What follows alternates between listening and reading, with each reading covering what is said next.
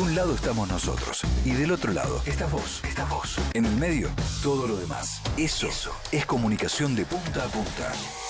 Radio Sónica, la radio más escuchada de Internet.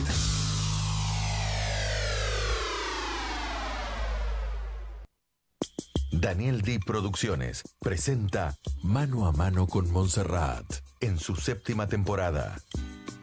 Dos veces nominado al Martín Fierro por Mejor Conducción y Mejor Producción de Radio Nativa Digital. Una charla íntima con un invitado de lujo durante 60 minutos. Mano a mano con Montserrat. Conduce Alfredo Montserrat. Locución comercial María del Carmen Ramírez. Muy buenas noches, programa número 307, séptima temporada. Nos pueden ver y escuchar por radiosonica.com.ar y en un rato en las redes, en, todas las redes va a estar. Si quieren comunicar con nosotros durante el programa, nos pueden, pueden por WhatsApp, pueden dejar un mensajito al 11 22 62 77 28. Sale ahí en el grafo abajo. Yo no lo veo porque soy grande, pero sale, sale. Bueno, vamos a tener un mano a mano con un actor joven de larguísima trayectoria. Se ha destacado en cine, televisión, teatro. Nació un 16 de agosto en Lomas de Zamora. Mirá vos dónde llegaste. Eh, ha sido nominado a todos los premios y ha ganado varios de ellos. Eh, los premios ACE, Florencio Sánchez, María Guerrero y otros más.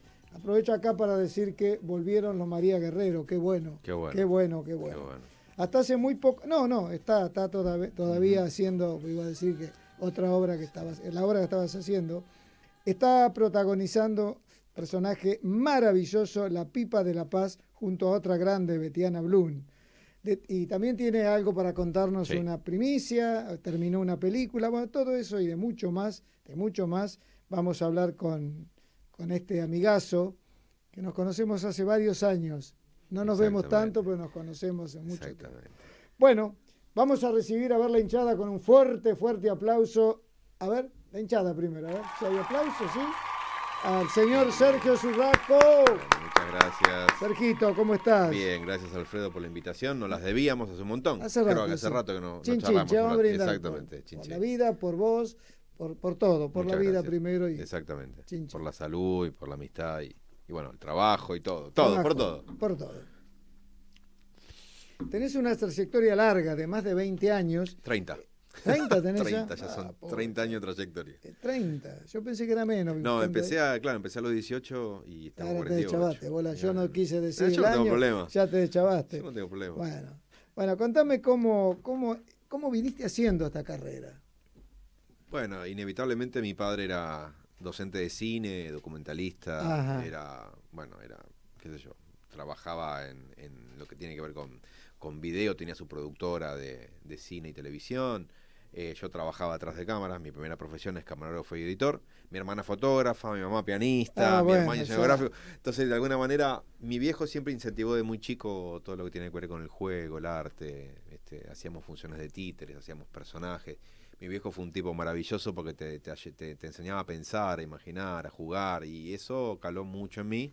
Apoyado por, bueno, por mis hermanos más grandes que yo también. Era, soy el más chico y de alguna manera el más mimado, el más consentido, el más acompañado.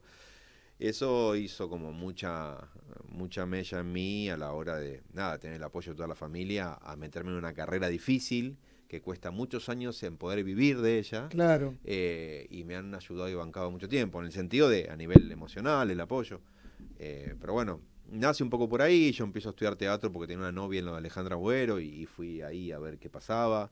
Y de repente me encontré con docentes maravillosos. La tuve, nada más y nada tuve a Alejandra como maestra, la tuve a Samek, que eh, la tuve grandes, a Luciano Suardi, bueno, Eduardo Rivo, un gran docente que ahora no está entre nosotros, bueno, muchos, muchos, muchos, y muchos compañeros que hemos salido de ahí, que hoy día los veo y, no, y admiramos cómo hemos crecido en todo este tiempo. Pero bueno, un poco fue eso, un poco también estar con el maestro Aleso, estar unos meses con él trabajando. Y así va, uno va haciendo, ¿viste? Uno aprende haciendo. ¿Cuál fue el primer laburo que hiciste?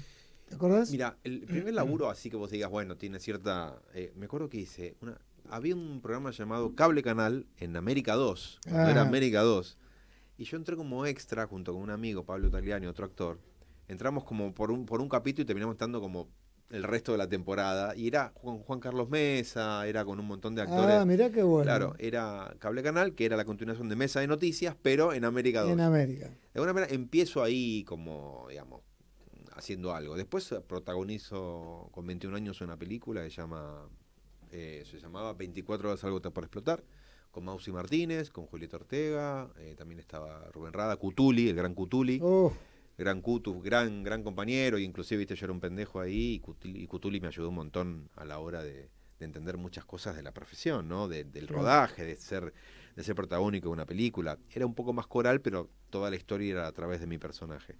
Y a partir de ahí arranqué. Cuando tenés un primer pasito, ya el representante que vas a buscar te da bola y vas a los castings, bueno, los primeros castings que había en esa época nos íbamos, tomamos el 15 con un grupo de amigos y nos íbamos allá a, a Lomas. Lo que era no, lo que era Sonotex en Martínez. Ah, sí, claro. A hacer casting a Baires, digamos, teníamos, éramos muy chicos y, y, lamentablemente el resto quedó, viste, los compañeros van quedando en el camino y algunos continuamos. Y otros no. Y otros no, pero también por también esta cosa que la vida te da, que a veces tenés más necesidades, tenés que elaborar otra cosa y tenés que mantener una familia y bueno, uno que no, la vida. La vida y un factor suerte también a veces. Sí, y un poco no, suerte mucha. Y bueno, eh, suerte yo creo que se nace marcadito. Para más, para menos, pero Puede ser, igual yo... en el sentido de que este va a ser. Tienes razón. Yo creo que actor se, actor se nace. Sí, pero tenga que tener disciplina, porque con el talento no basta. Y sí, claro, y las escuelas valen también. Prepararse, escuchar a los buenos maestros. Hoy que no hay casi nada de eso, hay muy pocas. Claro, entonces, este, eh, pero yo creo que se nace. Puede ser. Y sí, además, sí. además en el ADN lo tengo. Es más, me llamo Sergio por Sergei Drasov, que es un títere ruso, muy conocido.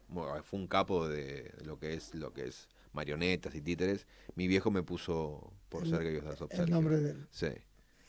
Bueno, contame la actualidad, bueno, lo que estás haciendo, que seguís con la pipa de la paz. Sí, ya terminamos después de un año y medio ya de hacer funciones, tanto en Buenos Aires como en el interior, con la verdad que un placer esta gira que hicimos y estas dos etapas que tuvimos en Buenos Aires, tuvimos una primera etapa en el verano, nos fuimos de gira, volvimos en el invierno, salimos de gira otra vez, hicimos la costa. Eh, terminamos ahora en Olivos, Cañuelas y San Isidro el fin de semana que viene, viernes, sábado y domingo. Y un placer porque fue, eh, eh, fue aprender con una genia al lado, aprender este, lo que pensé que sabía y sin embargo tenés, digamos, yo tengo esa capacidad de de que me siento a escuchar al compañero y trato de entender lo que me está tratando de proponer. Sobre todo porque ella también era la directora, aparte de mi compañera en escena.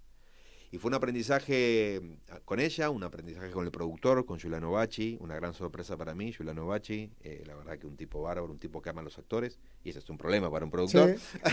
claro. Pero, Le dice todo que sí. Y bueno, sí, te mima mucho. gran, gran persona. Sí, Giuliano es un, es un pibe que yo primero, digamos, me sorprendió mucho conocerlo, entablar una amistad, quererlo este, entenderlo, entender el laburo del productor también, también me enseñó a entender el laburo del productor, por más que yo tenga una cierta noción, porque también me gusta producir y he producido alguna que otra cosa independiente, pero esta cosa a gran escala como Juliano, eh, no, y tratando de solucionarlo todo como, como puede, ¿viste? La verdad que fue una experiencia muy linda, fue un año y medio de laburo intenso, de, nada, de pasarla bien, que el público la disfrutó, como nunca he estado en una obra de teatro con tanta risa sin parar, una hora y diez. Fue un placer y llegó en, un buen momento de mi vida hacer esa obra. Y había mucha mucha conexión entre ustedes dos. Una química con, Betiana, Blum. Yo la vi en el Apolo y después, bueno, fuiste al, Astral. Al, Broadway. Al Broadway. No, al Astral hicimos el Astral y después fuimos al Broadway. no, fui a los dos menos al Astral. Claro. Bueno, bueno, contame cómo está tu vida hoy, aparte con el laburo estás, estás Sí, bien? por suerte, sí, estoy muy agradecido de poder vivir de la profesión, viste, en estos momentos tan complicados de la Argentina. Hace muchos años que vives la profesión. Sí, sí, hace muchos años. Y eso también tiene que ver con, a veces he tenido que dejar de elegir personajes que me daban dinero porque quería cambiar de tono de papel de hacer de hacer siempre de malo, de asesino o hacer de gay. Digo, hay algo ahí que el productor te pone en un lugar que le es fácil llamarte porque sabe que se lo resolves. Claro, porque te han visto en otros personajes. Claro, entonces yo necesitaba como, como salir de ese lugar porque si no, no tenía ningún tipo de crecimiento ni evolución personal como actor. Bueno, y también como persona, digo, a la hora de encarar otros proyectos. Pero sí, estoy, la verdad que estoy en pareja hace 11 años, muy bien, digo, estoy tranquilo. Cuando encontrás la estabilidad emocional, eh, el resto fluye. Es algo... Y sos un actor muy querido y respetado en el medio, entonces eso también... Bueno, trato de, escuchar a todos, como te digo, me gusta escuchar a todos y entender que todos tenemos nuestro momento y nuestra, nuestras cosas y somos, somos personas y, nos tenemos que ayudar entre todos, porque siempre el teatro es algo colectivo, el cine también es, un, es una... Has hecho mucho cine. Sí, sí, sí, sí. Mucho teatro también. Mucho teatro, tele. Eh, bueno, lo último que hice fue el primero de nosotros, que se ganó muchos premios ahí en los Martín Fierro, la verdad que es lindo ver a los compañeros con los cuales trabajaste, estará que le fue muy bien, que ganaron premios. Lo ganó Vicuña, ¿no? Vicuña, lo ganó Mercedes, este, ¿cómo se llama? Eh, también, bueno. No. no, no, no, perdóname. Eh, Funes. Funes, Mercedes Funes. Eh, también ganó Mejor Unitario junto con. Mejor Ficción junto con El Hincha. Bueno, y creo que. Ah, y Mejor Autor. A, ¿cómo no me llama? Bueno, Koroski, Koroski, y Moreto. Que es la dupla que genial lo que escribieron ahí. La verdad que.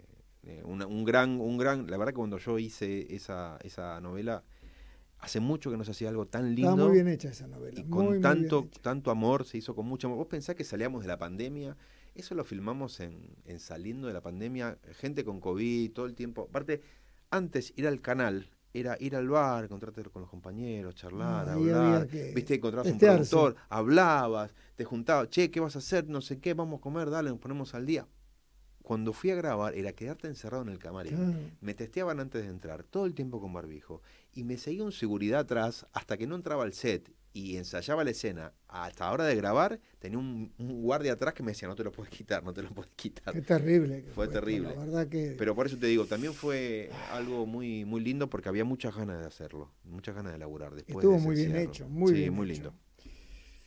¿Sufriste alguna vez la mirada del otro? Sí, mucho. La, sufrí hasta hace un tiempo.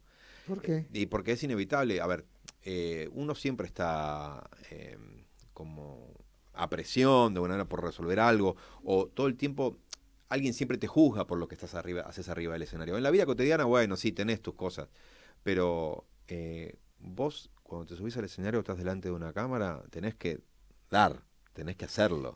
Y tenés una presión ahí y a, veces era, era ahora no, no tanto, pero hace un par de años sí, me costaba mucho lo, que miraba el otro, lo que veía el otro, porque yo pensaba que eso... Era lo máximo que podías hacer. Sí, que era modificar, podía llegar a, yo pensaba que podía llegar a modificar mi, forma de actuar, mi futuro, y en verdad no tiene nada que ver con nada, digo, es... Son cosas que uno va aprendiendo también con la experiencia y, estoy hablando hace 10, 11, 12 años atrás. Sí, la sufrí, obviamente, la sufrí. La, soy una persona muy tímida, por más que me guste hablar mucho.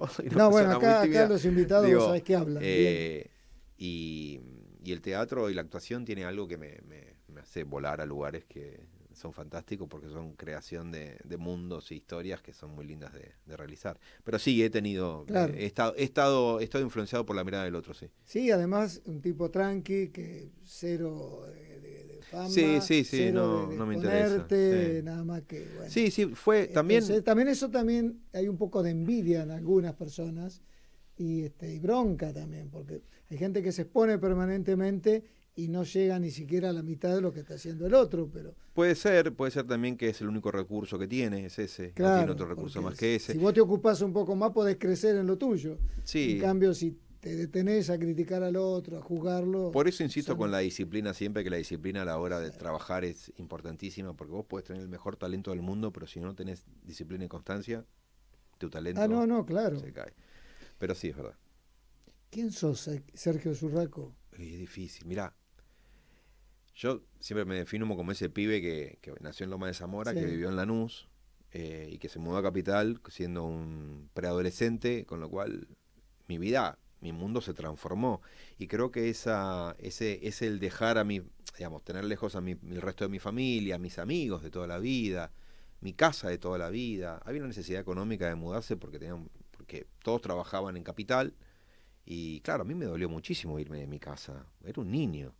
Y creo que esa, esa ida eh, generó en mí una cierta emoción y sensibilidad que a la hora de estudiar teatro es increíble como los actos de la vida te modifican como persona, ¿Cómo te vas de un Lanús, un barrio, tu familia, tu perro, tus animales, todo, te vas a Capital, a un PH, donde encerrado, colegio secundario nuevo, gente nueva, vida nueva, aparte Capital Federal. Era... Y solo porque, bueno. Claro, el resto de la familia trabajaba y a mí me dejaban, me dejaban solo, digamos, me iba al colegio, volvía al colegio y estaba en casa, por ahí a los minutos llegaba alguno para mi familia, pero yo el barrio, los amigos. Claro, eso hizo, yo creo que eso me modificó. También un viaje al sur, el Bolsón, en el año 1987, también me modificó por completo mi, mi, mi forma de ver el mundo, la naturaleza, el otro, entender cómo vive el, el, tipo de campo, en el bolsón, o sea, son cosas que me... Eh, nada demasiado hippie, digo, es algo que me pasó con, con la emocionalidad de, todos los días, ¿no? Creo que eso me, me hizo profundizar, entender, eh, ser más humanista quizás, tener... Eh, importarme otras cosas que a otros chicos no les importaba. creo que eso influyó mucho a la hora de que yo termine siendo actor.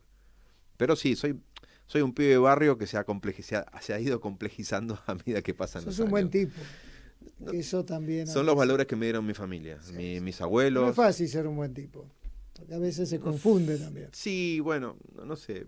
Mi, abuelo fue un tipo que tenía su, su almacén de ramos generales en Gualeguay, Entre Ríos, y le dijeron que sus hijos podían estudiar mejor en Buenos Aires y vendió todo como el, como el tremendo caracú y se vino a una casita en Lanús a, que sus hijos puedan estudiar acá. estamos hablando del año 50. el tipo dejó todo. Era un tipo que estaba muy bien posicionado económicamente allá. Y él pensó en el futuro un laburador y se vino a laburar acá y laburó y hasta que se compró la casa. Los hijos les dio la posibilidad de estudiar a todos sus hijos. Digo, mi viejo le dejó a mi viejo que estudiara cine no estamos hablando del año 60 y pico. Y en esa época usar vaqueros era de gay. Imagínate. el tipo, mi viejo fue el primero que se puso un vaquero en la nuez y todos lo miraban como diciendo, ese, ese, este, este. claro. Tampoco decían gay. No, que claro. Y él se juntaba con los pibes en la esquina, con los, amigos del barrio en la esquina, y era toda una movida nueva. Hasta que mi papá empezó a hacer, apareció en alguna revista, entonces mis abuelos ya lo que, ah, bueno. Claro, ahora, ahora Apareció en una revista, el tipo como un tipo de la vanguardia del cine independiente, qué sé yo. Bueno, mi viejo también, mi viejo fue un, no lo tengo más, se me murió en brazos el viejo, para mí es una pérdida muy importante hoy en día porque eh, era mi, mi referente de la vida. La pérdida del viejo es muy dura. Sí, y el referente de todo. la madre también, pero el viejo... Pero yo sí fui un tipo muy influenciado por mi padre a la hora de... Vivía con él directamente, él me llevaba a sus estudios de como no me podía dejar con nadie, me tenía que ir con él a, su laburo. Mirá qué bien te hizo. Claro. Aprendiste mucho. Y aprendí mucho detrás de cámara y eso, ¿no? Fue la verdad que tuve una infancia hermosa, una adolescencia muy linda, con los cambios, obvio, pero tuve una... La familia fue muy importante en, toda mi, mi, formación como persona. ¿Con qué fantasías? ¿Tenés fantasías? Todos los tenemos. A nivel personal, ya creo que hice muchas de las que creí que nunca iba a hacer como protagonizar una obra de Shakespeare en el San Martín. Eh, trabajar con Selva en esa obra maravillosa. Ah, qué bien, qué, buena. Trabajar con Alfredo Alcón, con Norma Leandro, con mi querida Elena Tacisto, que la extraño todos los días y era un placer trabajar con ella. En hombres, ¿eh? Sí, sí, no, tuve la suerte también eso. También tuve rodeado, tuve la suerte de transitar con gente demasiado grosa y que me dejó un montón, pero me dejó más a nivel humano que como artista. Sí, claro, por supuesto ya con la taxista nos dejábamos mensajes de mensajes, no nos no hablábamos por teléfono, le dejaba un mensaje en su contestador haciéndole personajes, digo. Nos hablábamos con un pico, digo, era una situación, a ver, éramos muy amigos. Después, bueno, ella em, comenzó con su enfermedad, ella también eligió alejarse un poco de todo por su enfermedad, pero he trabajado con grandes, con grandes, eh, he sido muy afortunado en ese sentido. Eh, de trabajar con esa gente porque me dejó un montón. Yo me acuerdo de verte en San Martín en poco ruido. Mucho ruido y pocas nueces. Mucho ruido y pocas nueces, lo invertí. Sí, sí. sí, eras nuevito ahí. Y 2010, sí, digamos, había hecho una trayectoria, tenía varias tiras encima, había hecho algo ya en, en, San Martín, pero bueno, después de eso me, de eso me llama Villanueva Cose, vamos a hacer largo viaje un día a la noche, un personaje hermoso de Ibsen.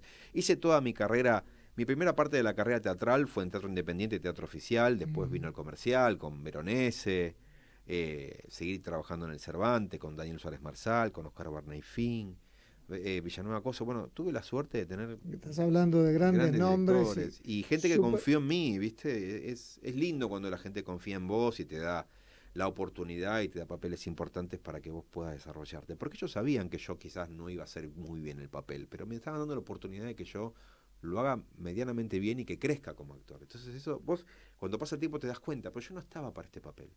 Pero me lo dieron igual porque creían que podía, viste... Qué compromiso, En el futuro, sí, Jugarse con todo, ¿no? Y Kibe está ahí también, cuando dirigía el San Martín, en esa época, eh, Kibe me, tenía muy buena consideración. Eh, mm, él dijo alguna vez, es, es, algo muy adulatorio lo que voy a decir, quizás un poco agrandado, pero alguna vez le preguntaban a Kibe para vos, ¿quién creí, para Kibe, quién creía que eran los herederos de, no los voy a decir, para los dos grandes actores argentinos de teatro, y me nombró a mí, a Malena Solda. Era un tipo que era muy generoso cuando eh, creía en, en, los actores, quería también, otro tipo que quería mucho a los actores. Hicieron una buena dupla en el Cervantes ustedes dos. Con Malena, sí, con, Yerma, sí sí, sí, sí, muy linda. Muy buena versión. Muy linda versión. Bueno, en esta profesión, ¿hasta dónde querés llegar? En Argentina es muy difícil. de verdad. Yo te digo, a mí me encantaría ganar un Oscar, sí. Un Globo de Oro, sí. el San Sebastián, sí. Me encantaría todo eso porque es hermoso para el ego. Pero hay que llegar ahí también. Y para eso tenés que salir desde acá o tenés que tener la posibilidad de que justo tuviste suerte, un casting, o te llamaron para una serie, esa serie se vio y un productor te vio en, no sé. Bueno, esas cosas suceden. Eso sucede. Pero, pero mira, qué sé yo, hasta dónde quiero llegar y hasta dónde pueda ser siendo exitoso con mi trabajo. No, no, no, no pido, sé que es muy difícil, sé que somos pocos, somos muchos y, y, y, hay, y pocos los elegidos, y quizás. Pocos los elegidos, somos muchos actores. Siempre digo lo mismo y para que, para que la gente tenga noción de nuestro rubro. Por ejemplo, somos 300, vivimos en la profesión 150, 10 son millonarios. O sea, es totalmente desigual. Sí, no, totalmente. Y hay, qué sé yo, actores solamente tiene 17 mil y trabajamos 300, vivimos 150 y 10 son millonarios. Para que te des una idea, es muy difícil eh, que todo el mundo esté como quiera estar con la profesión. Eh, en otros rubros también pasa lo mismo, pero en el actor donde se juega todo, todo lo que es uno, lo emocional, se expone todo el tiempo. ¿Viste? Si vos caíste mal en algún lugar específico, de ahí te hacen la es, es rarísimo ¿viste? Es como que. Acá se nota más, porque acá te ven. A lo mejor en otros medios pasa, pero. Claro. ¿Cómo venimos? ¿Cómo va a cortar? ¿Terminó? Quedan dos minutos acá. Después, si acá dice 28, ¿no? Chino, ¿qué decís vos? 28, va, una pregunta más. Eh, ¿Cómo te llevas con Dios? Creo una energía superior, no sé si llamarlo Dios o, qué, cada uno le pone eh. el nombre que quiera, pero sí creo que hay una energía superior que nos ha, dado la vida, eso sí. Eso es. Estás en, la respuesta bien cortita. Ahora, bueno, vamos a, vamos a vender un poquito, vamos a hacer una pausa. Si quiere plata, ¿sabes dónde va a buscar plata? Y enseguida volvemos. ¿Estás cómodo? Muy cómodo, muchas gracias. Vamos a hacer otro. Centro de Estética Masculino del país.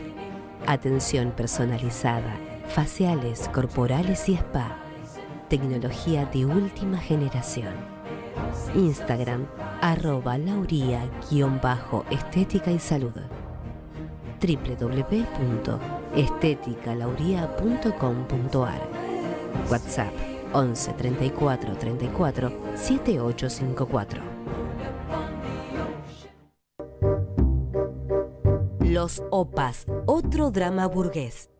Una comedia de humor negro de Daniel Dalmaroni todos los viernes, 21 horas. Teatro El Vitral, Rodríguez Peña 344. Teléfono 4371-0948. Entradas en teatroelvitral.com y por alternativa teatral. Los OPAS, otro trama burgués. Aramendia Peluquerías. Más de 20 años a la vanguardia. Su director, Walter Aramendia, es parte de Bell Artistic, representante en Londres en el Mundial Vision Award. Sucursales en Barrio Norte, Caballito y Almagro. 11 53 48 44 59 www.aramendia.com.ar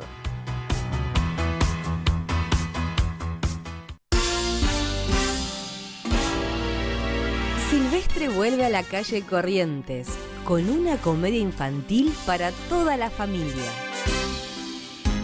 Ángeles, Diablos y Duendes. Elenco, Luz Larrux, Silvestre, Gisela Brevanel y Nacho Torres. Escrita y dirigida por Silvestre.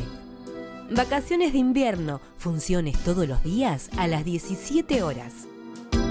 Teatro Picadilly, Avenida Corrientes 1524. 11 43 73 1900. Entradas en el teatro y por Platea Net. Producción general, Javier Will. Éxito total en Buenos Aires. El Circo de los Famosos. Circo Roda. Con la participación especial de Gladys Florimonte. Malevo. Diariamente 20.30. Viernes 18 y 20.30 horas. Sábados, domingos y feriados. 15.30, 18 y 20.30 horas. En Crovara y General Paz. por las mujeres que derrochan simpatía. Nuestros invitados brindan con Media Copa García. Vinoteca Online.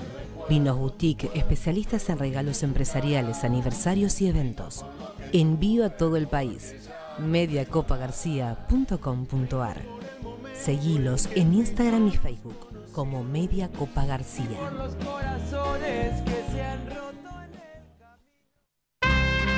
Atrapa el sol. Productos de toalla 100% algodón. Batas, ponchos, diseños con bordados personalizados. Para todas las edades. Atrapa el sol. Más que una simple toalla. Envíos a todo el país. Belgrano 333, local 6, San Isidro, Buenos Aires. www.atrapaelsol.com.ar Si querés publicitar tu obra de teatro, recital o evento en mano a mano con Montserrat, contactanos al 477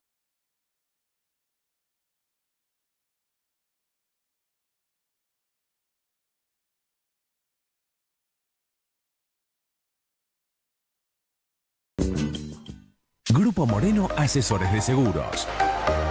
¿Alguna vez pensaste qué hay detrás de tu bienestar? ¿Qué hay detrás de tu seguridad? ¿Qué hay detrás de tu tranquilidad? Tu productor asesor de seguros. Seguros de automotores, motos, hogar, accidentes personales y vida. Grupo Moreno Asesores de Seguros. Acércate a nuestra oficina en 9 de julio 322, Chuele Chuel. Teléfono 02946 44 31 46. Agustino la evolución de la elegancia. Avenida Santa Fe, 1549, Recoleta, Buenos Aires.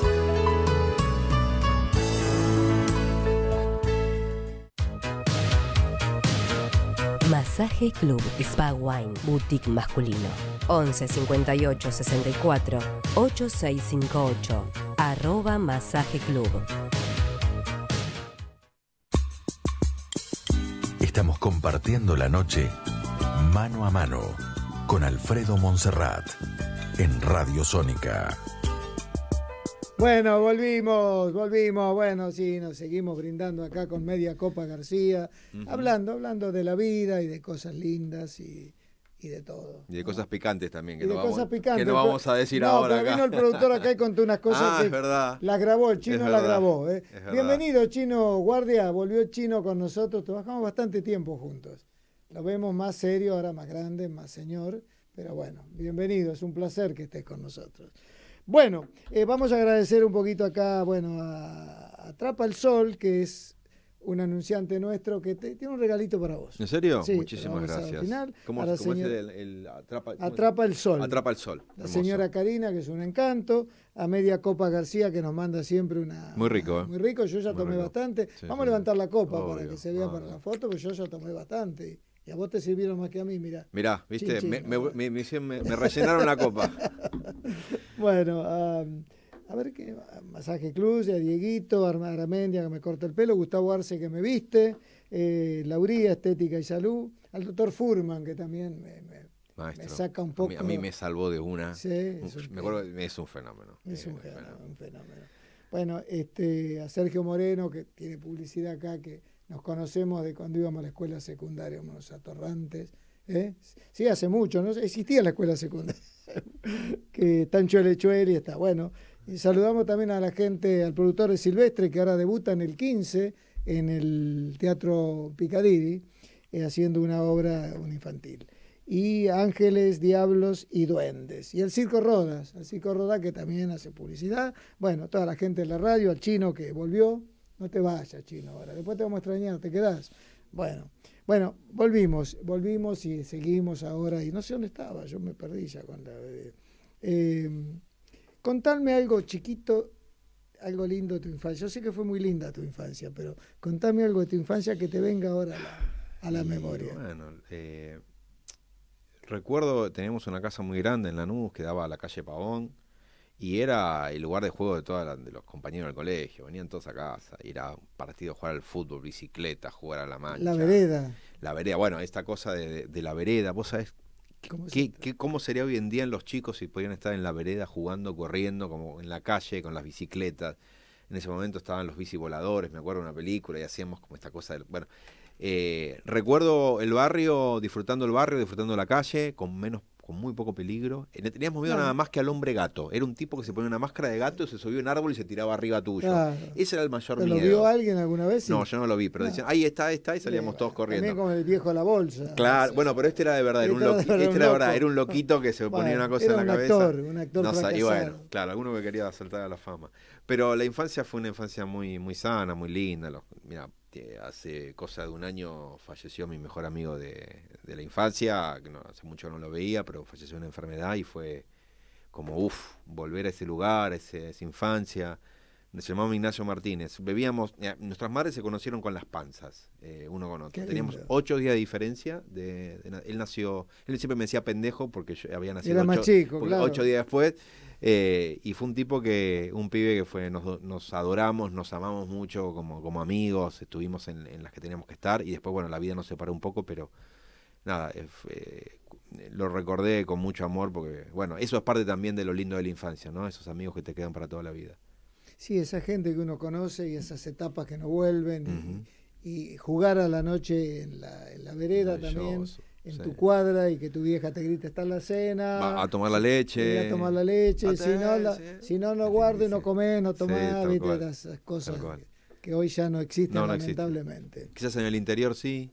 Yo tuve la, suerte, de viajar y. Sí, menos, pero. Pasa, pero bueno, qué sé yo, también, viste, la rueda sigue girando. Bueno, vamos a hablar, porque te invitamos también para que, para que vendas. No para que, pero es que el productor me diga que venda, que venda, mira a ver cuánto hay, dice, pero no, no. los Todavía nada. No, no hay nada, ni te van a dar nada, no, jamás, eso no. Este, bueno, este, está terminando La Pipa, de, la Paz, de, Alicia Muñoz, Alicia Muñoz que es una maravilla de autora. Una gran autora. Una gran persona, con una gran timidez.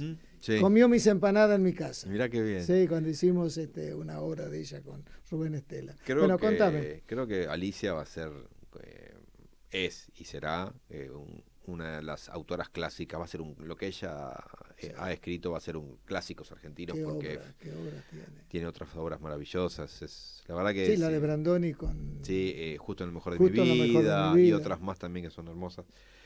Bueno, eso sí, termina una etapa muy linda, de, como hablábamos antes, de la Pipa de la Paz. Este domingo terminamos en San Isidro, como, la, como el final de la gira. Eh, está ahí guardada, la vamos a dejar hacer. Seguramente van a volver, en algún porque momento, tu compañera es una gran luchadora. Sí, Betty le encanta. la tenemos que invitar a Betiana, no vino nunca Betiana. Bueno, Estaba dando clases en una época. Los martes, sí, sigue dando, sigue dando, clases, Claro, ella me dijo una bellería, pero estoy dando clases. Eh, bueno, después terminé de filmar una película que se llama... Eh, la resistencia de la especie, que es de director de Walter Techblum, que yo ya había hecho con él una película anterior que se llamaba En la cabeza papá, junto a Mario Larcón, éramos los dos protagonistas, una historia muy linda, y él me vuelve a traer un desafío actoral maravilloso, que es un, digamos, un muchacho del interior del país, de un conurbano de una gran ciudad, que viene a su casa, viene a Buenos Aires a cuidar la casa de la hermana, la hermana ocupa una casa ilegalmente y se tiene que ir a buscar a su hija que está lejos por una circunstancia de la vida. Y le pide a su hermano que le cuide la casa. Y él también es un marginal, digamos, no es un, delincuente, pero está cometiendo una acción marginal al meterse dentro de una casa.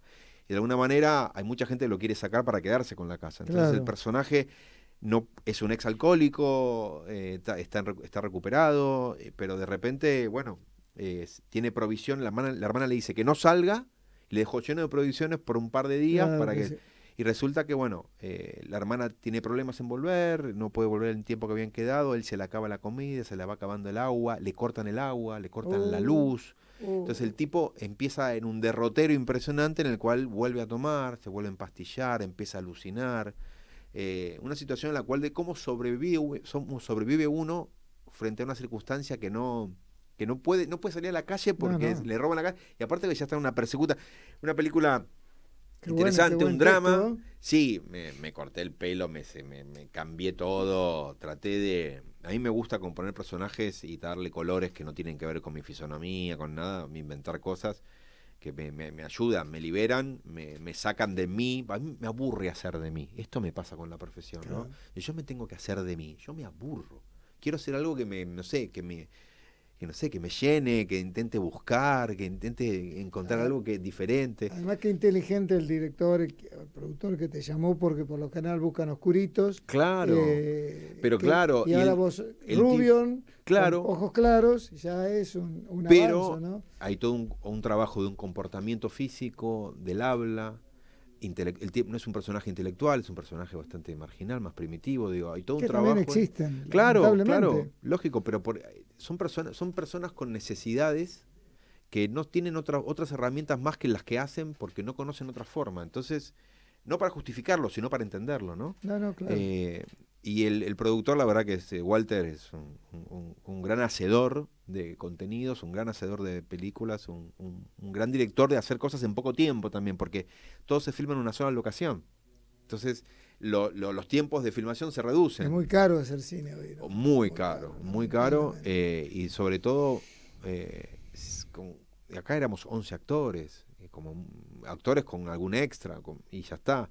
Imagínate las grandes películas. No, no, no. es, eh, imposible. Y había otros actores que también trabajando con vos. Sí, está Marito Larcón. Oh, eh, Mario. una, una sorpresa para mí muy grande. Qué talento, man. No, Mario es una cosa. Vino, persona. vino a hacer dos escenas porque se copó. en- che, ¿qué- ¿quién está? Zurraco. Ah, vamos, vamos. Y vino una mañana, después nos quedamos a comer, nos reímos tanto con Mario porque hicimos antes esa película juntos.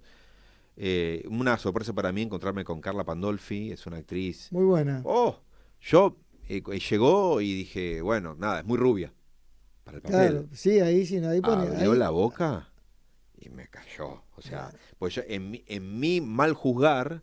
Es de- que todos piensan que si Claro. sos negrito y tenés. Claro, en mi eh, mal juzgar, eh, y apenas empezamos a ensayar y yo no podía creer lo talentosa y lo bien que Sí, estaba es buena actriz. en un ensayo. Bueno, eh, bueno, nada, eh, grandes compañeros, lindos compañeros estuvieron ahí, así que la pasamos muy bien. Bueno, y después No ahora... sabemos cuándo se estrena. En diciembre. Ah, en bueno. diciembre. Tiene esa metodología que él filma en julio y estrena en diciembre. Ah, bueno. Hizo otras películas también antes eh, que tiene esa metodología. Con, con el otro su socio, MR Films, eh, también. MR Films fue el que hizo conversaciones con mamá, con China Zorrilla y Eduardo Blanco, es el productor. Qué maravillosa esa. Sí, y es el- este productor es un tipo muy copado, Carlos. eh, no le gusta que digan su apellido, por eso no lo nombro. No, está bien. Él quiere, él se quiere hacer conocer por su productora. Eh, pero la verdad que muy interesante, gente hacedora, gente viste del, del medio que siempre está, está generando contenido y está buenísimo porque hace muy bien a, a todos. Y así que bueno, y ahora en lo último, último, último que está, que apareció fue esta un, un inicio de una obra de teatro eh, que se reestrena y me han convocado, que todavía no quiero decir mucho porque mañana empiezo y Mañana a ensayar.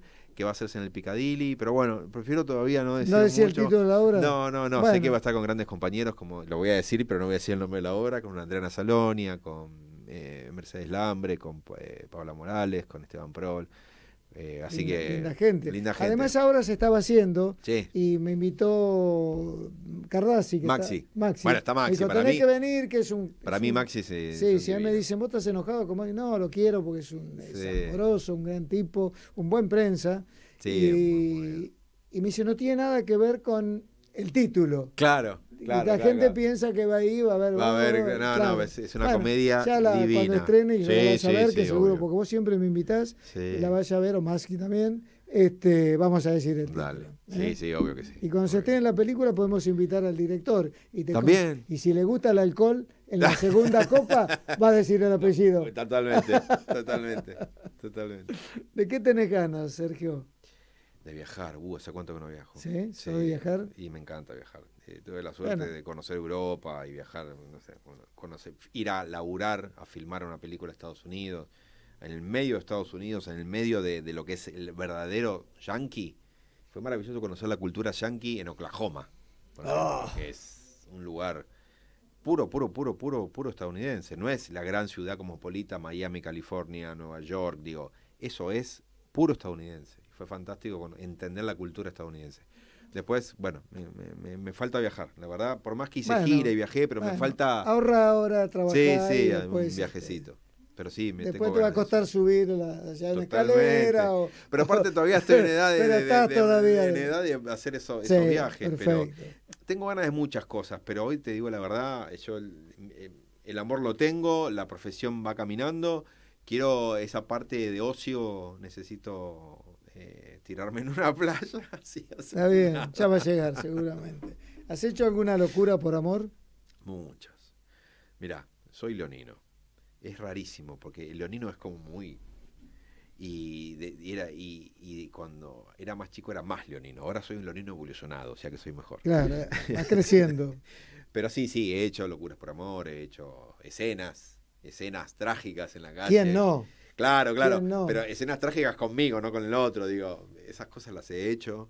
Locuras por amor. Y no sé si. Para mí, locura es. Eh, no sé, no. Intentar que esa persona no se vaya, tratar de convencerla, hacer, hacer algo que, que, que, que, te demostrás que sos capaz de humillarte delante de la otra persona para decir, bueno, quédate. Pero sí, sí, esas cosas de, de, jovencito las he hecho. ¿Quién no? Por eso, ¿quién no? ¿Tenés alguna asignatura pendiente? Sí, no lo voy a poder cumplir, que es actuar con mi viejo. Sí, eso no me, quedó, me quedó. Pero, bueno, La, imagino. Está, Imagínala. ¿Llorás? Sí, no. Eh, me cuesta. Eh, la verdad me cuesta. Eh, pero me suele emocionar más que llorar. Bueno, y a medida que pasen los años... Vas a llorar más. no, no llorar, te vas a emocionar mucho más con cosas que pensabas que no, que no me te ibas a, imaginar. Bueno, pero tranquilo, va con a llegar. el mundial lloré, ¿eh? Claro, pero tranquilo porque eso va a llegar, ¿eh? Usted tiene que, empezar a llorar y emocionarse porque ya está, pero él necesita, más cerca, él necesita Está más cerca del arpa que Él necesita vender. Estamos. Estamos bien. Eh, ¿Tenés algún top? todos tenemos TOC, pero yo no podría decirte. Uno. y no sé, soy muy fanático de ver este cosas en YouTube. No puedo estar sin ver cosas en YouTube, eh, ver programas, cositas, eh, podcast. Eh, sí, el TOC de, la información. Ese es el TOC que tengo. Investigar sobre rabinos ortodoxos hasta este nuevos planetas que descubrió el telescopio espacial James Webb. la física cuántica, a verme, no sé, a ver un, algo político, este, tengo esa, esa necesidad de información, de estar informado todo el tiempo. Sí, sí, de tecnología. me gusta mucho la tecnología. Me gusta tener toda la misma marca, la misma tecnología de la manzanita. Eh, soy fanático de la manzanita, es muy jodido, pues caro, pero en casa tengo mucha cosa de la manzanita. ¿Crees que te falta hacer algo más por vos? Hacer algo por vos. Sí, sí, sí. Sí, he, sido una persona que se ha pospuesto por el otro mucho. Muchas veces, muchas, inclusive en la profesión. Creo que eh, también me quieren porque a veces me pongo yo y el otro, pero sí, me he pospuesto yo laburando para, para que el otro eh, se brille más. Yo te conocí, era más o menos, no sé, cuando vos hacías una novela con Rani. 11 años que trabajamos 11 años. Sí, que trabajamos y, este, y sos el mismo tipo. Y después pasaron mm. muchas cosas más. Eso es lo maravilloso. Sos de palabra, sos la misma persona, te comportás igual. Y, bueno, otra gente quizás hubiese cambiado totalmente. Puede ser. Pero... Otro día, los otros días no, hace un tiempo fui a ver a Luciano Castro, una obra maravillosa que está haciendo. Y lo voy a saludar, le digo, yo sí. Dice, vos sos amigo de Surraco, nos conocimos por Surraco. Ah, mirá. Sí, sí, es muy bueno, muy bueno, muy bueno el espectáculo que hacían en el, en el teatro, era el, el Regio. El, eh, claro. ¿Que ahora se llama Regio o no? Eh, sí, sí, el Regio. Regio. Sí, sí, sí. Sí Sí, la verdad que sí. ¿Qué le dirías a aquel muchacho de Loma de, aquel chico de Loma de Zamora hoy? ¿Qué le dirías? Eh, eh, en un momento. Que no te animaste en algún momento a algo que tenés que verte animado, animarte a más en algún momento y decirle gracias por conservar el, el barrio. No, bueno, pero si te animas más, se quedan todos sin laburo. Te has animado bastante. No, digo, pero bueno, sí, gracias por, ser, digamos, por, por seguir siendo el, el pibe de Lanús, el pibe que no me subía a ningún caballo, que siempre, digamos, digamos, todos nos vamos a morir igual, de la misma manera, desnudos, y, y, nos va a comer el mismo gusano, digo. Y además no es necesario cambiar porque estás protagonizando una novela, o ganaste un premio, o porque... No, no, no este, soy elitista, no me gusta ser elitista, mi familia no lo fue, me enseñaron que todos somos iguales, yo profeso eso, intento eso. Que te respeten, sí. Claro, que, me respeten, sí, obviamente. A veces la gente le molesta mucho que yo sea así, mucho. Y sí. Familiares le molestó mucho que yo sea así, que no me entendían de por qué yo no era más competitivo, porque no puedo, porque no quiero, no me sale, no quiero cagarle la vida a otro. Yo no cambiaría tu lugar porque ya te está yendo muy bien. Bueno, faltan cinco minutos, ¿no? Habla, habla, habla. Qué rápido, ¿eh? Te vamos, te vamos a dar esto de abrirlo, mostrarlo a la cámara. Te lo manda. Ah, mirá, ¡oh! ¡Qué bueno! Para el baño, con el nombre de Sergio. A mostrar a la cámara. Para que te laves la cara todos los días. para que ahí, se, ahí se ve el nombre. Ahí se ve el nombre, mira cómo la luz lo. Divino, muchas gracias. Es una fotito. Ah, está buena. ahí te va a hacer una foto. Atrápame el sol. Atrapa el sol. Atrapa el sol, perdón. Qué hermoso. Bueno, sí, seguimos, sí, que, que hablamos, sí, pero escuche, está la cámara, tampoco somos. ¿Eh? Hace ruido, bueno. Ya está, ya lo largué. Este. Bueno, el proyecto ya hablaste. ¿Crees que te falta hacer algo por vos? Sí, bueno, sí, siempre uno, a veces viste que la vorágine de la vida hace que descuides cosas, sí, tengo que hacer cosas por mí, tengo que, no sé, cuidarme más en algunas cosas, digo, para, para estar mejor, debería darle más bola, a la salud le doy bola, pero darle más bola a, físicamente, qué sé yo, ese tipo de cosas, si bien yo juego al fútbol dos veces por semana, o intento hacerlo, necesito como tener una rutina un poco más, este, darle más salud al cuerpo. Eso sí, a nivel, pero sí, a nivel emocional digo, no sé, viste, uno va aprendiendo a medida que va avanzando la vida. Claro, sí, sí, las décadas sobre todo se hacen un gran tal Cual. Eh, pero sí, por ejemplo, qué sé yo, no, no he tenido hijos y es algo que, que quizás en algún momento me lo reprocharé, ahora no, porque fue una elección de pareja. Sí, pero fue una elección de pareja de, convivir sin... Es otro viaje, ¿viste? El, no, el estar en pareja y no, no buscar un hijo es otro viaje, es un viaje nuestro, es un viaje de la pareja. que no es obligación tampoco. No, no, no. Te cambia la vida. no, totalmente. pero no es obligación, no es que... Y la gente que te dice, ¿y para cuándo? ¿Para cuándo? ¿Para cuándo? A mí nunca me han dicho eso. ¿No? Tuve la suerte de ir para cuándo. Porque era un tarambana. Yo no sé si ahora se dice tanto, en una época se decía mucho. ¿Vos crees que Robin y Batman eran pareja? Yo creo que sí. Oh, qué malo, qué, Yo creo que sí que eran pareja. Sí, sí, para mí. Y más la época en la cual se, se hizo famoso el, famoso Batman y Robin de, de los 60. Esta pregunta se me ocurrió una noche que estaba ahí. Digo, ¿qué pregunta hago? Todos los que han venido me dicen que sí. para mí sí. Pero, pero para mí sí. No, no, no ah, acá no hay, no, no, ahí está, eso es complicado, ¿ves? Porque eso está, haciendo diferencia de género. No, no, no, no, no, no, acá no hay género. Chino acá, se ríe. ¿Vos pensás que sí, Chino? No, pensás ¿No? Mirá vos, uno que dice que me dijo que no. Mirá vos, qué bárbaro, qué bueno. No, bueno, también, digamos, ese, ese Batman y Robin de los 60, fantástico, eh, eh, era como una... Esa época fue un despertar de muchas cosas. Entonces había cosas sugestivas, porque en ese época se podía decir mucho, entonces era como... No, se habla, se habla siempre, se habla y te interesa mucho lo, lo que hace el otro. ¿Sabes a quién vas a votar? Pero no me digas a quién si sabes. Sí, lo voy a decir, no tengo ningún problema. Voy a votar a Guillermo Moreno. A Guillermo Moreno. Voy a votar, para las pasos, ¿eh? Digamos, para que él pueda hacer, optar como para presidente. Ah, lo escuché muy, eso, escucho mucho los, a los candidatos, mucho, mucho, mucho y escucho mucho a Milei, escucho mucho a Massa, lo escuché a toda la red, a Bullrich y a Moreno, y me quedo con Moreno, pero sin, sin miedo a nada. ¿eh? Creo que el tipo fue, el, eh, cuando él estuvo como secretario de Comercio fue el mejor momento en el cual económicamente Argentina estuvo mejor, que fue desde el 2000, no sé, el 2005 o 2006 al 2012, 13. Pero bueno, después obviamente él no va a llegar al balotaje, al balotaje así que después veré a quién voto. Pero, bueno, se nos fue el tiempo, lamentablemente. Yo la pasé muy bien. Yo también. ¿Vos te sentiste muy cómodo? muy cómodo, la verdad que. ¿Faltó algo por decir? No, no, no. Igual volveremos a decirlo en otro momento, vendremos y seguiremos que acá Estás abierto, está abierto este lugar para vos y para los amigos y para los actores, eh, las actrices y los actores. Bueno, nos vamos. Si se quiere, este no sé qué le pasa hoy. Bueno. Llueve, llueve. Llueve, llueve. Estamos estuvimos en vivo, ¿eh? 29, 21 a 59, no, 21 a 51, no. 21 a 59. Nos vamos. Hasta la semana que viene. Chao, buena semana y pórtense bien y si no avisen que nosotros vamos, si no llueve. Chao.